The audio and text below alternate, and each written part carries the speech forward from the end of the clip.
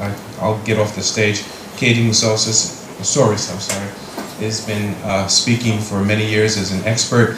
She's the Chief Policy Officer at HackerOne, 2011 Executive Women's Forum Woman of Influence Award, and she led the Security Community Outreach and Strategy Team responsible for Microsoft's bounty programs.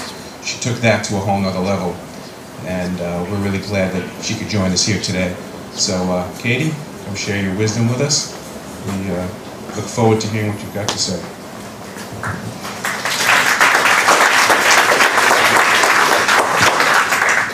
Okay, thank you so much. Can everyone hear me in the back? Yes. Yes, excellent.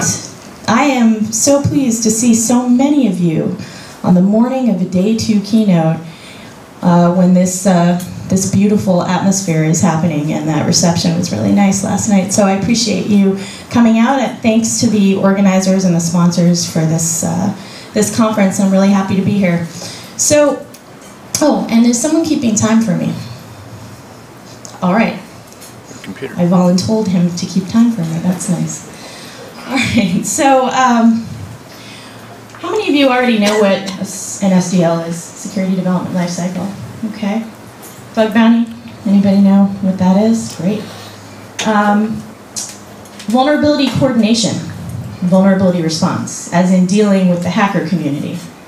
Okay. We're going to go over some of these topics at a high level and actually talk about how bug bounties and vulnerability coordination actually integrate into a security de development lifecycle.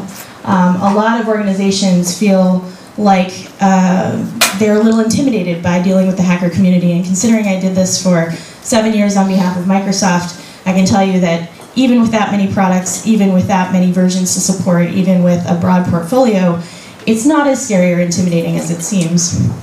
We're going to go through a case study um, today and talk about some of the ways that the Microsoft bounty programs actually fed into and enhanced the security development lifecycle as any vulnerability coordination program should. Um, and we'll talk about some strategies for getting started with your own SDL if you don't have one, God help you, um, and your own vulnerability coordination program and then we're going to talk a little bit at the end about some of the recent um, laws that have been getting discussed around security vulnerability research and what we can do about it. Okay, so there are a lot of words on the slide. I'm sure you can read. Um, I've been doing security for quite a long time. Um, started out my computing career as a Linux developer, um, and um, pretty much decided that I wanted security to be the thing that I did. It was my passion. I'm much better at breaking things and breaking systems down than I am at building them. But I developed a healthy regard for those who build software um, and worked uh, for part of my career at Microsoft on the SDL team as well. So I got to see it from the proactive and the reactive sides during my time there. Um, doing it at that scale was, um, you know, certainly instrumental in some of the organizational empathy that I was able to build and understand what the engineering teams really needed and be able to create bounty programs that a company that had said that they would never pay hackers money for vulnerability information in, ended up embracing. So, um, in other in other work in my past eight years of my life, I've also been you know professional masochist in that I have been working on ISO ISO standards. So um, doing this work, I ended up, I actually ended up doing subject matter expert work for the U.S. National Body on Vulnerability Disclosure because I had written Symantec's Vuln Disclosure Policy and I'd written Microsoft's Vuln Disclosure Policy. And when somebody from Canada, do we have any Canadians? Don't raise your hand now because this is a bad time. No. I tricked you. Um, I got you to laugh about ISO standards at 9.30 in the morning. How about that? So, uh, Canadian national body decided to propose a vulnerability disclosure standard. They called it a responsible disclosure standard. Wow. So, uh, so Microsoft said, Katie, you know about disclosure. Go make sure that doesn't that doesn't turn into a disaster. So, um, seven years later, it was published. So it was published in early 2014. And it's something a lot of people don't know about. Organizations don't know about it. Hackers don't know about it. They, of course, do not follow ISO standards. This is a standard strictly for vendors who are looking to receive vulnerability reports um, and interact with them in some meaningful way and come to some kind of uh, resolution and advisory at the end. But that's pretty much what that standard covers in about 48 pages. Um, but it took seven years to create that standard and obviously like drop the word responsible. Um, we're going to talk about that a little bit in terms of how and where uh, the planning for compliance to these standards actually fits into the SDL as well. And I work on a number of other standards. Uh, this was just uh, me at work. I think, is Pellis Because I think Pellis actually took this picture. Oh, he totally didn't wake up for my keynote. Anyway, Pellis and I and some of the other folks, actually Alex Stamos, who was your keynote yesterday, are all part of the At Stake Mafia. We were some of the first application penetration testers. You know, the company started in 1999, 2000. I joined in 2003 as an app pen tester. And this was me in the San Francisco office, kind of making a little joke. Um, because I was on, I had been on a previous pen test gig with a gaming company.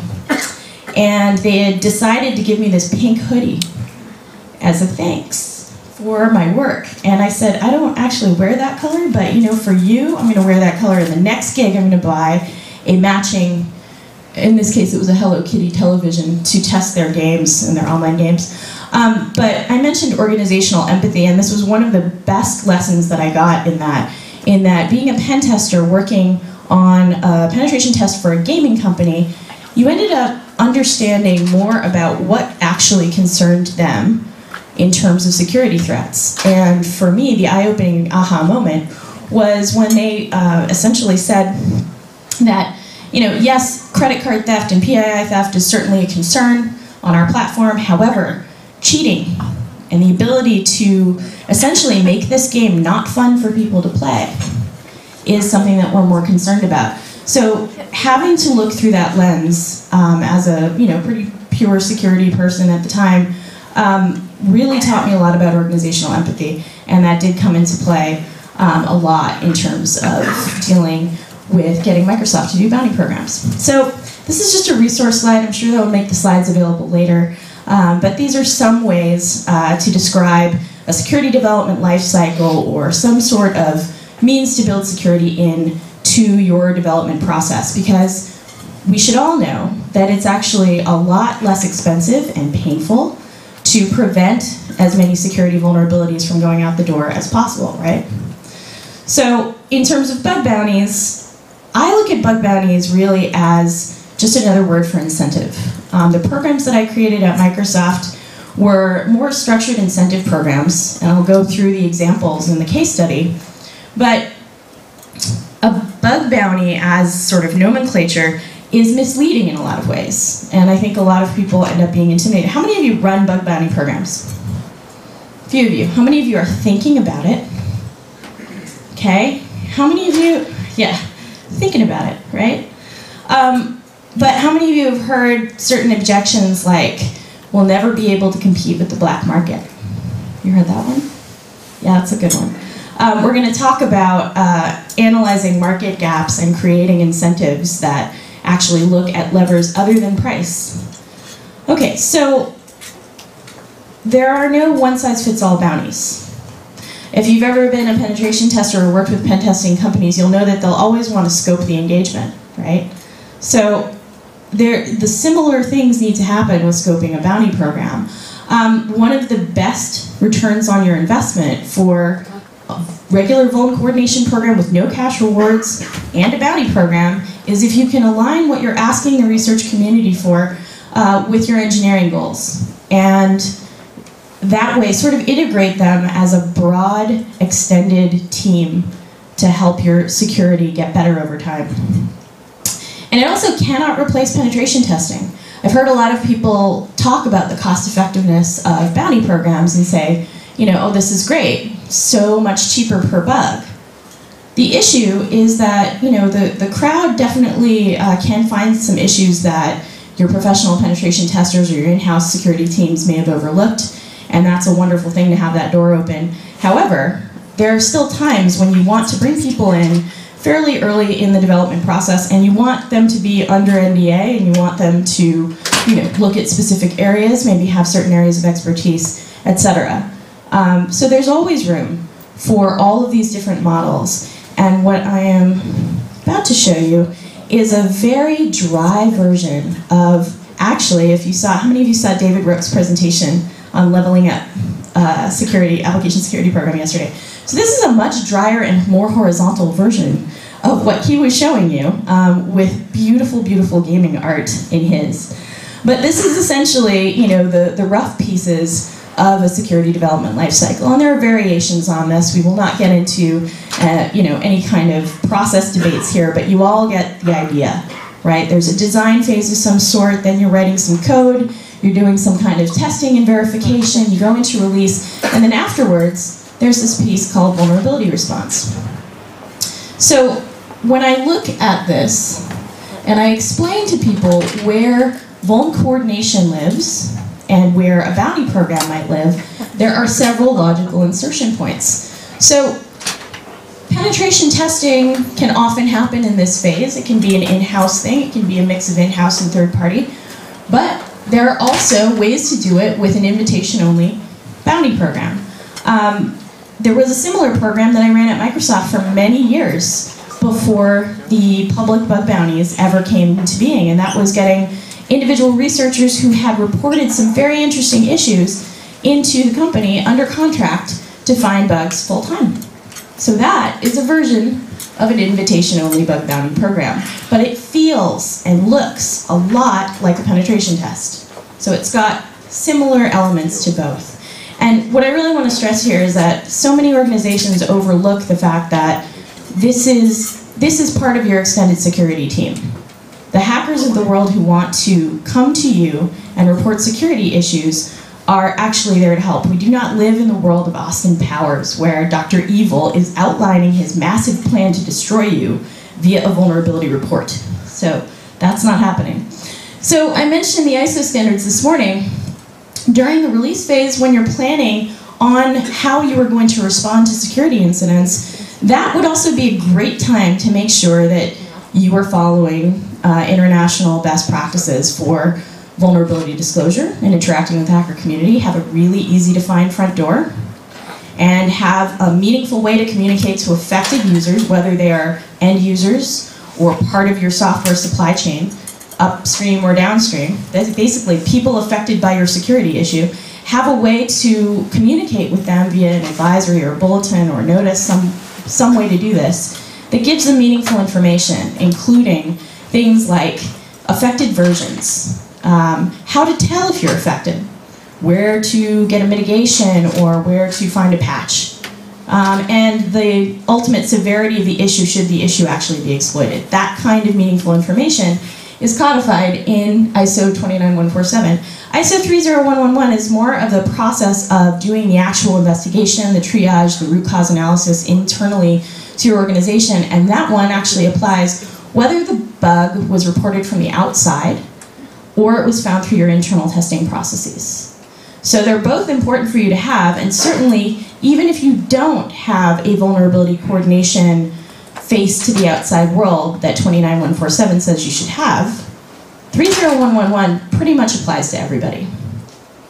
So finally, you're in the response phase, and I don't know if you can see any of that, but it says execute response plan, execute vulnerability coordination program, and potentially, if your response is mature enough and you've invested enough in the earlier phases of your SDL, perhaps you might be ready to run a public bounty program. So I spend a lot of time actually counseling um, some potential, you know, folks who want to use the HackerOne platform into not running a bounty program right away um, you'd think I'm Captain Bounty, but actually, it's more about making sure that their organization is ready and prepared to deal with vulnerability response at that scale. And often, starting them out with an invitation only bounty program, just like Microsoft did, when Microsoft had pretty much unlimited resources to deal with this, and still has one of the biggest software security teams in the world. Okay, so mentioned David. I saw his slides I was jealous of his art, and I said, please send me your art slides because they're so pretty. Look at that. So I deliberately left like the font problems in here so you'd know I just ganked his slides. He said I could do this. But look at these glorious pictures, right? So, so much better. Um, yeah, no, these are great. So, what I actually wanted to get to here is that even when you've done as much as you can do through all of this art, let's just, this one's beautiful. Um, even if you've done as much as you can do, all software contain bugs, contains bugs. The, at the end of the day, you will have this sad little guy somewhere in your organization. You'll be so sad because vulnerabilities do slip through. And it's a matter of what you're going to do about it. So, um, the time check? I'm going to go into the case study next, and I can talk about this for days.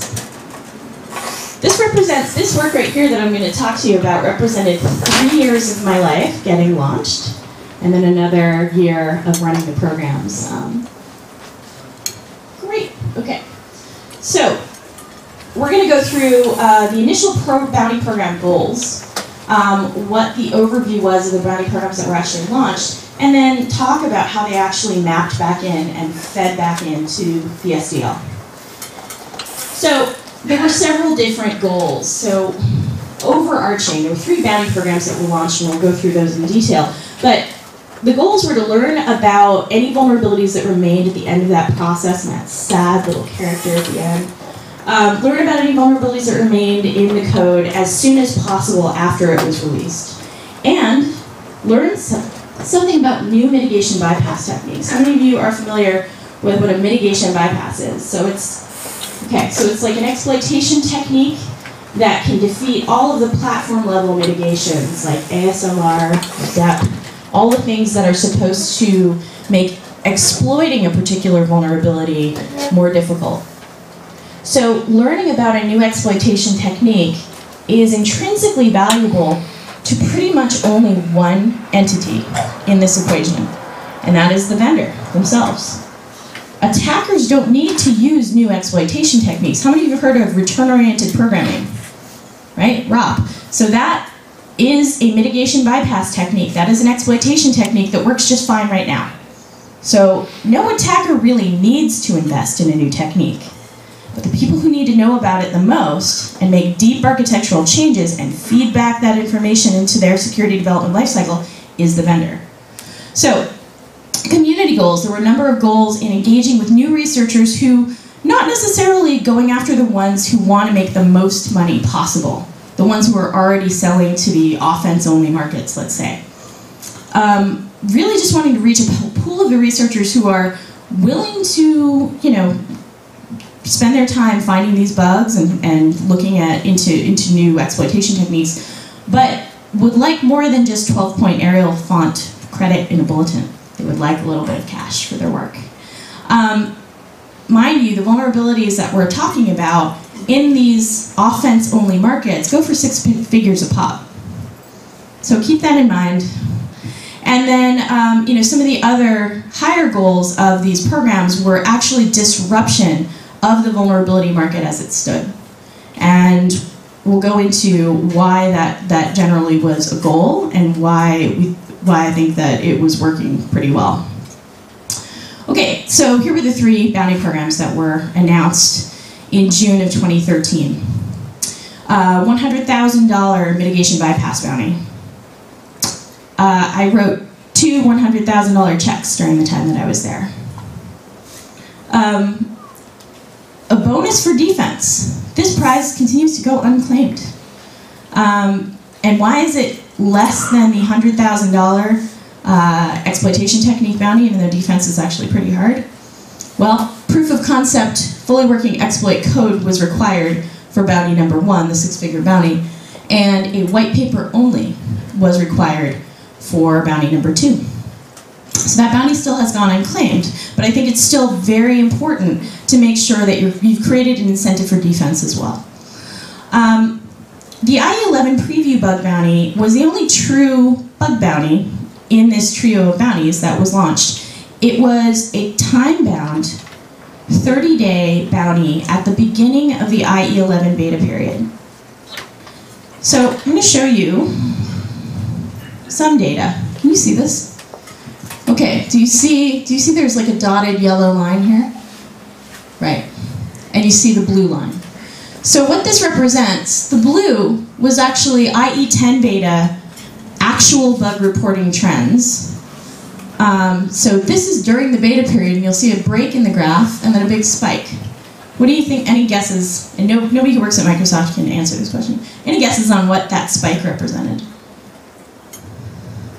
Out of beta, exactly. So that is when, that was after code was released to manufacturing. So that was RTM right there. So why do you think there was this big spike in IE10? So there's no bounty present at the time. Any guesses? I was talking about different markets, right? But there were all these altruistic hackers who had, you know, would keep reporting vulnerabilities to Microsoft for free. Where were they?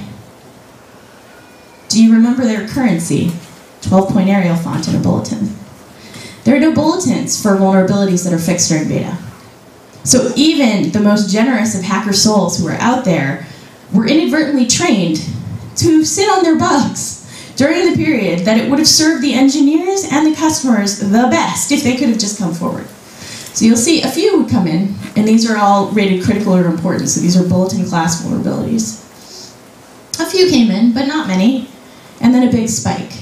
So what do you think the other markets were doing? What I call the offense market, and that would be your nation state who's only using these vulnerabilities for attacking other entities and spying on you.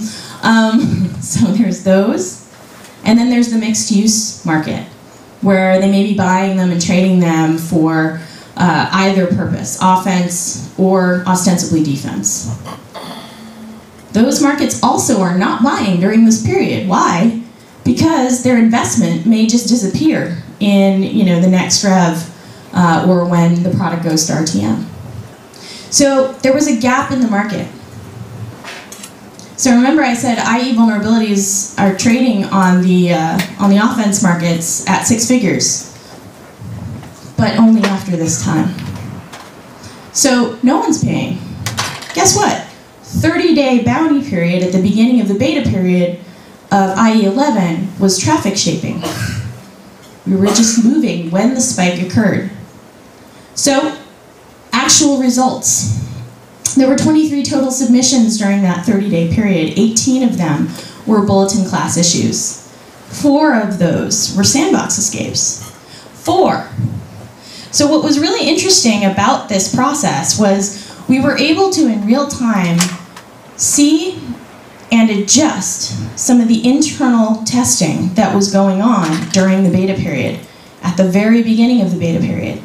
This was super useful, you know, in terms of stamping out some of the worst vulnerabilities. It was funny because I saw a paper come out, um, saw a paper come out that showed there were earlier patches after release of IE11. Earlier patches were available than with IE10 and they were trying to draw some conclusions about, boy, howdy, you know, there must have been more issues. And I kind of tweeted back at them and I said, nope, just move the, we just moved the spike. So customers got protections earlier than they would have. Cleared out as many as, as they could during beta, and then the residual ones would get fixed pretty shortly after release. So you begin to see where some of these programs, they were very deliberate in how they were created, and when my initial run at, at doing bounties at Microsoft, three years before it was actually launched, when I was talking to the IE team, it was never about money. This was never about sort of a cost benefit analysis because how many of you think that bounty programs or penetration testing is a really efficient way to find bugs? No, right. So it's not the most efficient way to find bugs, but it is a very efficient way to harness the power of the security research community and direct them to where you would like them to look, at a time you would like them to look. So, um, future SDL requirements were influenced on the fly by these programs. Because, you know, you look at those four sandbox escapes, that's, sandbox escapes can basically be used, you know, to leak address-based information, that kind of thing, um, and make exploitation of other bugs easier. So these are powerful bugs, that have been revealed. Um, remember, I also said community goals of interacting with some hackers who, you know, are good folks but would like to get paid for their work. There was one hacker who came in with six of these um, bulletin class issues, and prior, Microsoft had never interacted with this person directly. He had only gone through ZDI. So he was part of this group that would come in on this spike. And he just said, well, that's great. I'm just gonna, just gonna go ahead and give you my bugs earlier. So, all right, James and the Giant Check. This was, uh, this was really funny. So he had already gotten the bounty awarded to him and, and all of that stuff. And I was at a conference with him and he said, I just picture you at BlueHat handing me a giant check. And so I'm like texting my marketing people going, he wants a giant check, make a giant check. Because we're, we're apparently going to hand it to him on stage at BlueHat. So this was, that, I did sign it, but that's not my real signature. Um, this was in the green room, uh, you know, behind the stage at BlueHat, and I, I signed this giant check. Um, this was a historic moment because a lot of people remember the how do you out how do you outbid the black market. So one, you saw when the IE beta you didn't have to. Oh, I didn't mention the grand total price of these 18 bulletin class vulnerabilities. Anybody want to guess how much was paid out in total?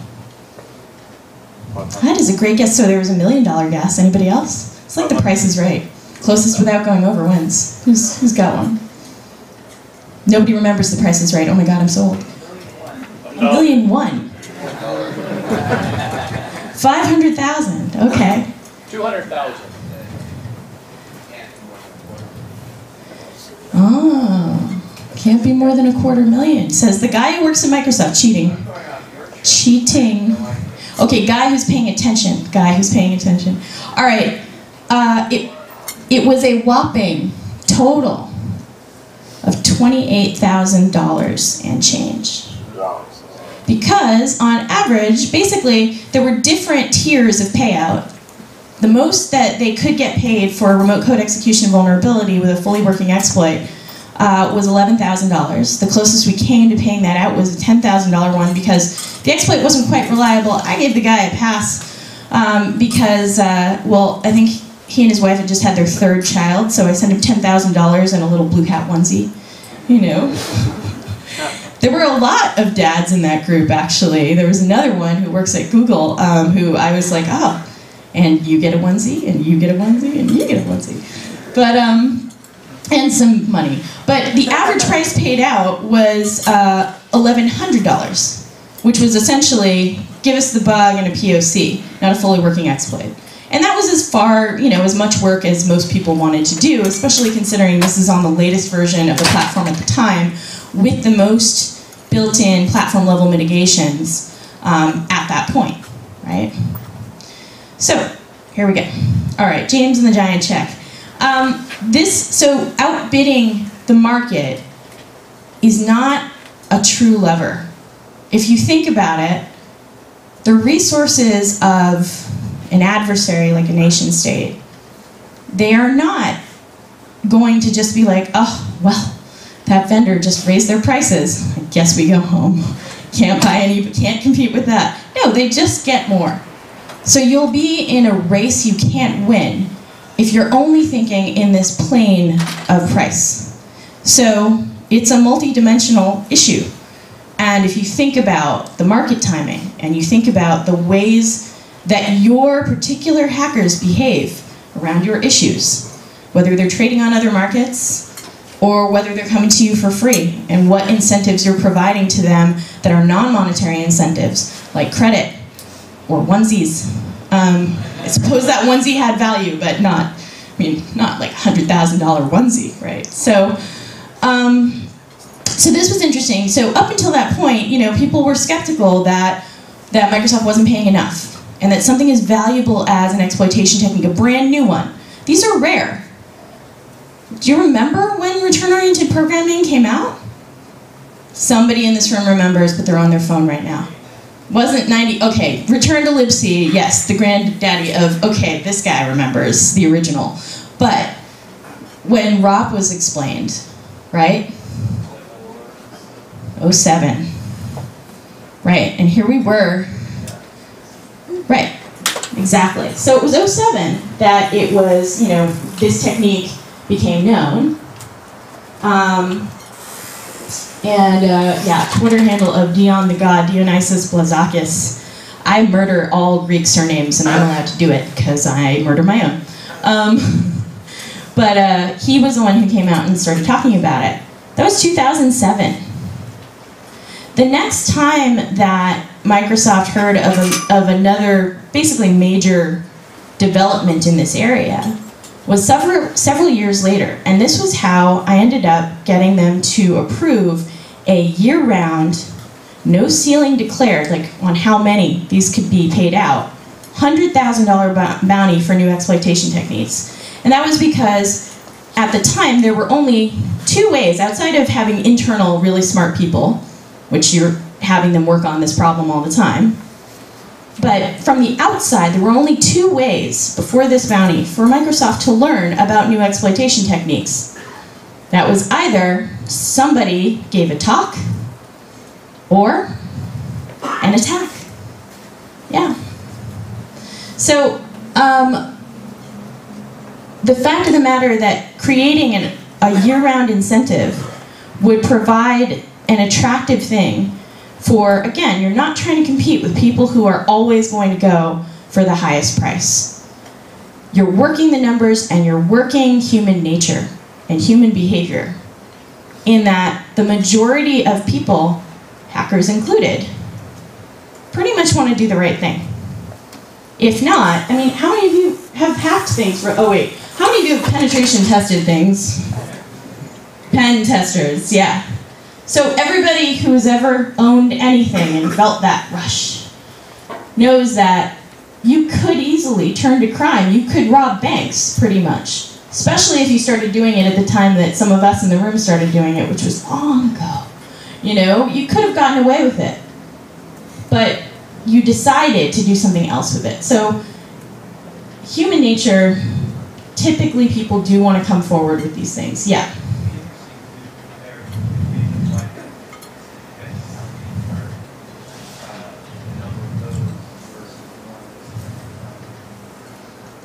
So the, the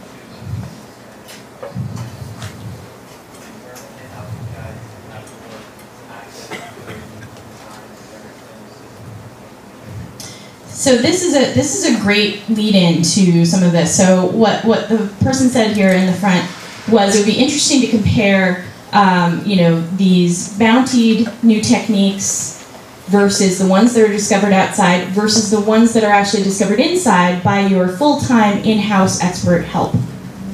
Um, what's interesting about this is that a variant of this was discovered internally, or how should we say this? Maybe rediscovered internally because of a tweet of a hacker who liked to taunt the company and say, you know, I've got something, but you're not going to get it because you don't pay hackers money.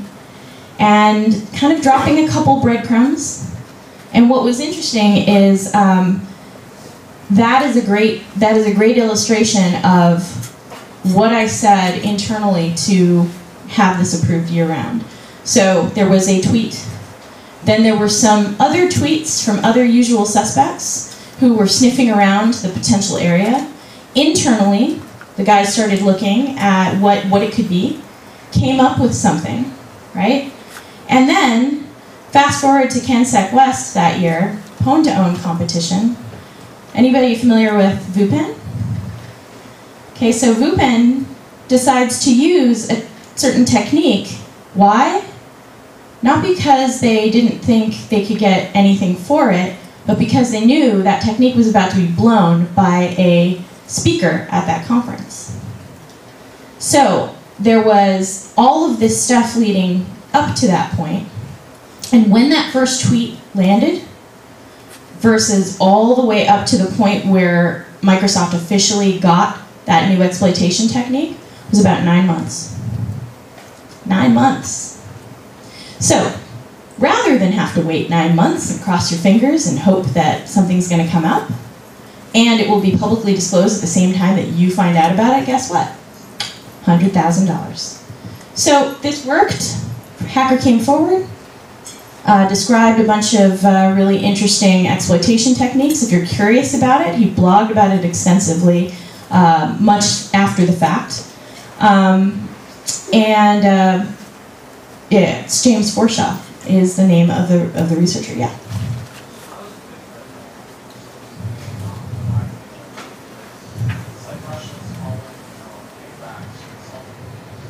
So, so the question is, how is it different? How is it different from paying off blackmailers like what did you say? Russians calling and what? But it's a okay. So, so um, how is it different from?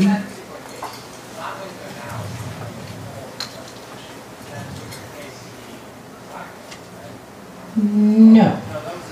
No. Different, different, different person. Yeah. But here's the funny thing, right? So let's say it had been the same person. Let's say it had been the same person. Um, would would I be doing the right thing by holding to a principle and not giving the bounty payment that we were advertising just because somebody taunted us online? Would that be worth it? I don't think so. So anyway, I don't know. Anyway, um, okay, so all right, let's let's what what's what's the time that I have right now? Okay, so I've got 15 minutes to wrap it all up, and I can tell you guys are going to have questions, so I'm going to start moving faster. All right, so first and foremost, invest in your security development lifecycle. Your heaviest investments have to be here. You are never going to bounty your way, pen test your way, or you know, pay off blackmail your way to secure, right? this is not going to happen.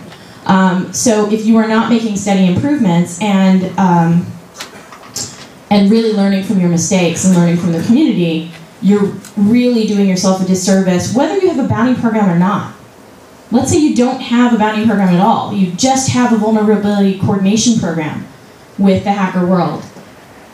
One of the great things that I learned when I was at Microsoft was how how the SDL got revised. And when I started there, it was revised internally every six months.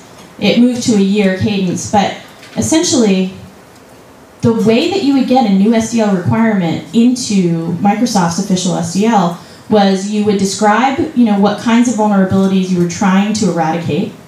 You would aim for aim for trying to get rid of entire classes of vulnerabilities and then give MSRC case number examples of these vulns wouldn't have slipped through if we had this control in place. And that is how you should be using vulnerability coordination in any case. Whether you're offering onesies or one millionsies, you need to have this feedback loop. So coordinate the the bugs or the bounty program with your users, your customers in mind. Figure out ways that you can feed this back in at a time where it makes sense and aligns with your engineering capabilities. You all know this. Getting a bug report is a, is a blessing and a curse. The best of times, it's the worst of times. Somebody gave you a bug report, that's great.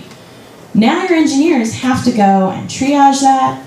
They have to put it, you know, in a queue of things to fix. And guess what? They're not building your next version of the software. So using the incentives, whether they're onesies or not, to incentivize hackers to help you address bugs earlier, to help you align with your own engineering practices, and create this win-win between the research community and you. Okay, so how do you get started? Um, setting your goals. What is it that you're trying to achieve? Building your processes. I talked about the ISO standards a bit, building your ops capabilities in both your development lifecycle and your vulnerability response. Then, if you have some data, start measuring your trends. Um, refine your response and then feed it back into your SDL.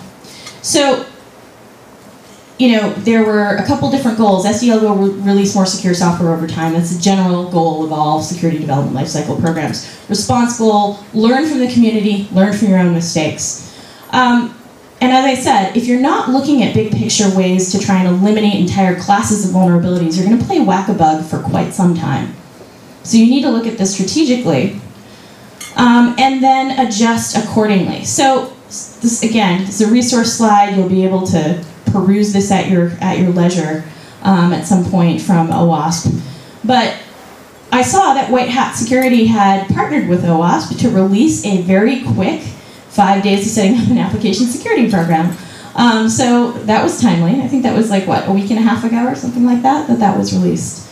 Um, and then understand these vuln disclosure and vulnerability handling process standards. You know, if you want to pay them the money, that's great. I don't see any of it, just so you know. Um, or uh, I think I made a video on YouTube that's 20 minutes long, so if you want the crash course, there it is. Um, and then what happens next is you have to determine your realistic bug servicing capabilities. So you will get an initial spike of reports. Whether you are starting your very first vulnerability coordination program or bug bounty program, you will experience a spike. Plan for it, deal with it, it's okay.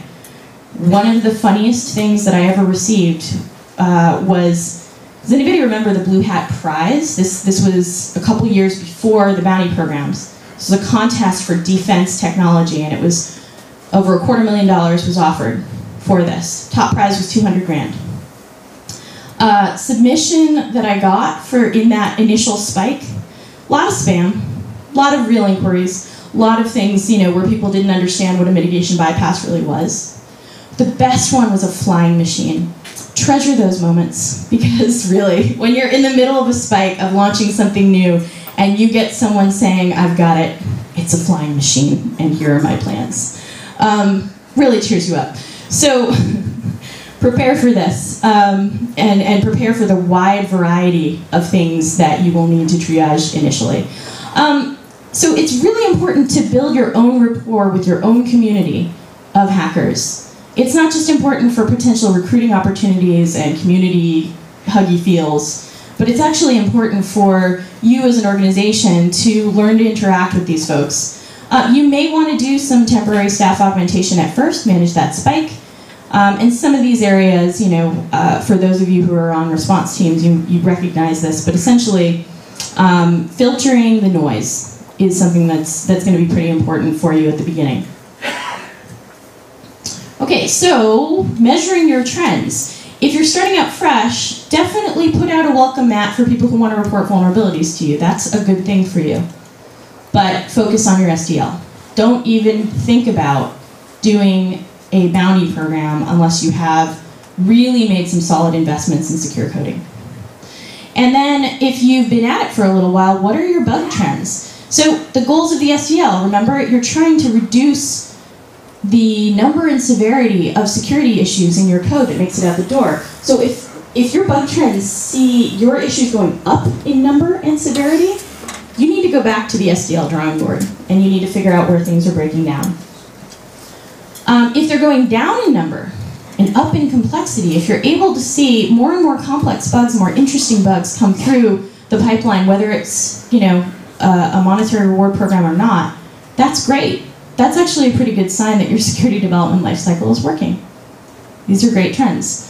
Um, and then once you are comfortable with vulnerability response and how to feed that in and how to tune and adjust your SDL, maybe it's time for you to think about a bounty program. So here's some goals and ways to do it. But is that 15 seconds that I have left? Wait, is it 15 minutes past the, what does the 15 mean? Oh, that's great, that's fine, that's plenty. Um, so if your goal is to protect your largest existing customer base, consider bountying products with the most market share. That might not be your latest product. If you want to focus on securing your newest products, learning the most from your newest mistakes as opposed to your old and busted mistakes, then focus on you know bounty your products in the latest version only, but fix all supported down level. So every customer gets the benefit of your bounty program at the latest. That's exactly how the IE11 uh, bounty program worked. All fixes were ported down level to all supported versions of IE. And then if you want to learn about vulns as early as possible, bounty during the beta period, or as we showed in my horizontal, less colorful, no pictures of monsters version of the SDL slide, um, you can actually do that in an invitation-only program quite a bit earlier in the SDL. And, it, and finally, if your goal is to disrupt your adversaries, bounty new attack techniques and provide a research outlet for new defense techniques as well. People may not come forward with that, or they may come forward with impractical solutions, you know, that, that degrade performance too much or whatever, but you may glean some really interesting concepts just from offering reward for defense. You also get to see out there the pool of people who are interested in defense and potentially good at it. That's a lot harder of a pool to identify through other means um, in general. Most of the top uh, finishing finalists for that BlueHat Prize, which was the defense only prize, were from academia. Okay, so remember, this is the horizontal slide that is less fun than this slide. But the point is where where does vulnerability information feed back into your SDL? How can you use vulnerability coordination and alignment with the hacker community um, to get better at writing more secure, secure code in the first place? And these are the logical insertion points of these processes. And the sad guy will not be alone because an army of friendly hackers will be there, which brings me to this. So, how many of you heard of the Computer Fraud and Abuse Act? CFAA. Okay, great. It's way many of you, way many more of you than raised your hands for earlier questions. Um, so how many of you heard about the White House's proposal to amend some of the language of the CFAA? Any of you worried about this? That's great. Me too. Me too. So the Computer Fraud and Abuse Act, in broad strokes, essentially makes doing vulnerability research on specific kinds of systems very risky for a hacker. In 2007, um, I worked with the MSRC. I had just joined a few months earlier, and we did something that was a big deal at the time. We put a little note on one of our security pages that said, if you take the time to report a vulnerability to us privately and give us a chance to fix it in our online services, which were live production servers running on our equipment, then we will not refer you to legal action. That was a big deal at the time. Other companies definitely followed suit and you know, made it clear that they were not going to try and prosecute friendly hackers. But that only goes so far. Even if you have a bug bounty program, turns out, I've been talking to lawyers, happens, I'm already doing policy work, I might as well talk to lawyers. But, um, but even if you have a bug bounty program, that doesn't actually protect security researchers from criminal litigation by the Department of Justice, should the Department of Justice choose. It's just a fact. Yeah. So when the Computer Fraud and Abuse Act is, well, it is, it has been in place and it has had a chilling effect on security research of online services in particular. Because it's very risky even if there is a declaration of some sort of legal amnesty coming from the company, that doesn't eliminate essentially the overarching crime. How, how many of you saw Alex's uh, keynote yesterday? Okay, so I was in a meeting. is he here? He's in a meeting right now, is what's happening, right? So I missed it, but I heard that he brought this up as well. And um, I'm not sure what he said because I wasn't there, uh, but what I will say about this is that the hacker community have been trying to report issues to get them fixed for decades. The areas that are particularly risky for them under the current CFAA are online services. We all use online services. We all use services that are in production in some manner or fashion. And when I think about this problem, I look at it like, can you imagine what a world without hackers coming forward would look like? Remember that grim picture that I was painting of the fact that, you know, certain new attack techniques, impossible to learn about them through any other means except attack. Or, you know, if it were if it were uh, more of a chilling effect in terms of security research, anonymous 0day dropping would just be the way. And that would be the best they could do. So, the action for you, if you care about this, if you're worried about this, is to write to your representatives and ask for a research carve out for the CFAA. Actually, the EFF has a good little tool where you can look up who your representative is and write to them. And then, if you are part of an organization that deals with hackers, especially if you are part of a very large organization that deals with hackers, you have lobbyists. They go to Washington all the time. You should be talking to your lobbyists about getting a research carve out for the CFAA because without it, you'll end up in a world where you're blind until you're hit in the face with an attack. And if the goal of the president's changes to the CFAA is to enhance security, there's no better way to do that than to embrace your allies. Okay, questions? Yes. Do you find that certain industries are especially resistant to the idea of bounty programs? So the question is, do I find that certain industries are very resistant to the idea of bounty programs? Yes, uh, there are early technology adapters and late technology adapters. Uh, I remember, uh, I remember um, having conversations with organizations early in in the pen testing world, where they were having to justify to management, why would you hire somebody to hack into us? Does this sound familiar? Why would you pay someone to hack into us? It is ultimately the same argument um, that had to be made, but it is I think it's a natural progression of uh, modern vulnerability reporting and finding. And quite frankly, you know, it took seven years for that ISO standard to come out. But I think that ultimately, even those industries like financial institutions and other very risk averse industries are going to, one, look at the fact that the international security community has said that there's a need for this, at least at a coordination level with the hacker community.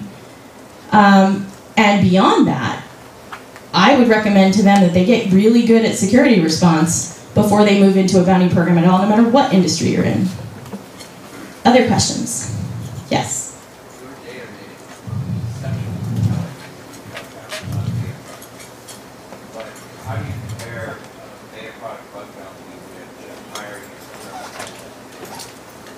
So you you can hire external pen test and code review, and trust me, IE does, you know, but there are bugs that remain regardless. You can't hire all the experts in the world, and even if you could, they have a fixed amount of time before you have to release your software.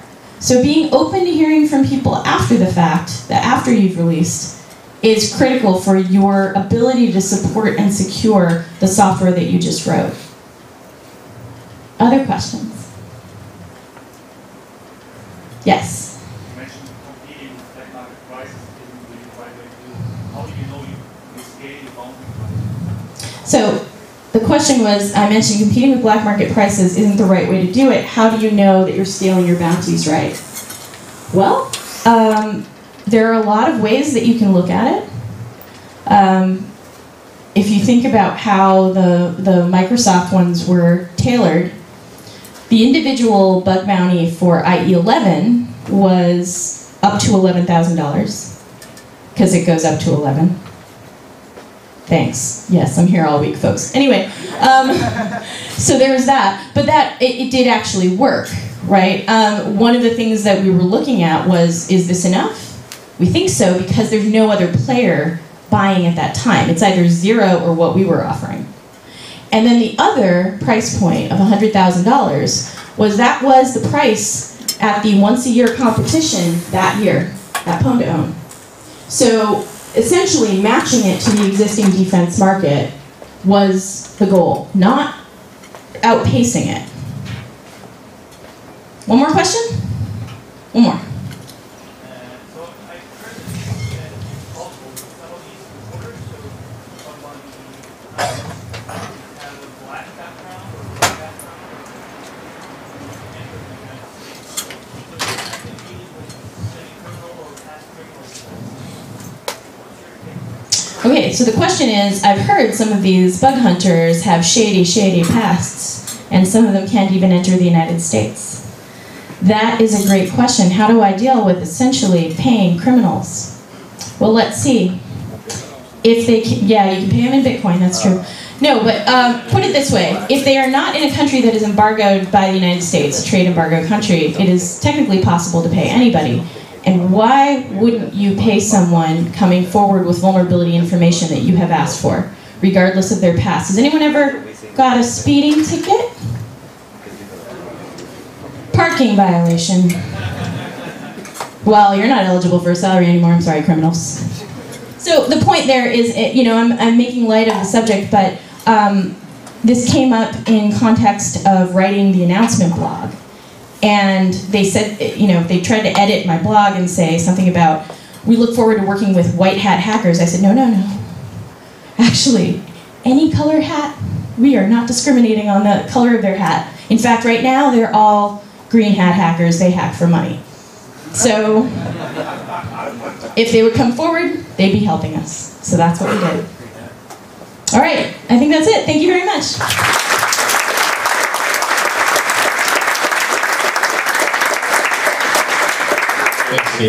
Um, if you guys will stick around for just a minute, um, our diamond sponsor wants to say a couple